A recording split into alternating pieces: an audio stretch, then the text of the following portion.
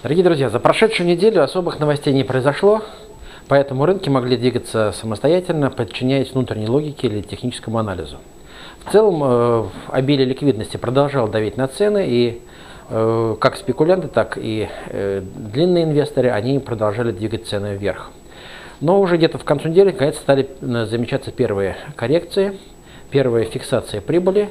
И это обусловило некоторое рваное поведение в конце недели, а также э, некоторые, э, некоторые изменения э, ценообразования в сторону некоторых боковика и даже, может быть, некоторые поддельным инструментом вниз движения. А то, что ликвидности по-прежнему много, говорит э, тот факт, что прошел рекордный хорош, э, акцион по пятилетним бандам в Америке – с очень высокой переподпиской. Отлично прошли проблемные облигации типа Италии с Испанией. Но э, в любом случае деньги есть, и они не позволят сделать каким-то резким движением вниз ни по какому финансовому инструменту.